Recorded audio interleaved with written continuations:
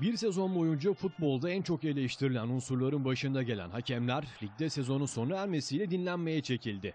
Ancak bir isim hariç. FIFA kokartlı hakem Cüneyt Çakır, 25 Mayıs 1 Haziran tarihleri arasında FIFA tarafından düzenlenecek Dünya Kupası hakem semineri öncesi hazırlık kampı için Kayseri'yi tercih etti. Cüneyt Çakır konuyla ilgili yaptığı açıklamada, önümüzdeki günlerde Rio şehrine gideceğiz ve çok önemli bir seminere katılacağız. Bu semineri iyi şekilde tamamlamak Hocam istiyoruz. Tek hedefimiz 2014'te Brezilya'ya gidip ülkemizi onurlandırmak dedi. UEFA elit hakem kategorisinde yer alan Cüneyt Çakır bu sezon Manchester United Real Madrid Şampiyonlar Ligi ikinci tur rövanş maçında İngiliz ekibinden Nani'ye gösterdiği kırmızı kart yüzünden çok eleştirilmiş ancak UEFA kendisine sahip çıkmıştı. Süper Lig'de son olarak Fenerbahçe Galatasaray derbisini yöneten Çakır, FIFA tarafından Türkiye'de düzenlenecek U20 Dünya Kupası'na görev yapacak.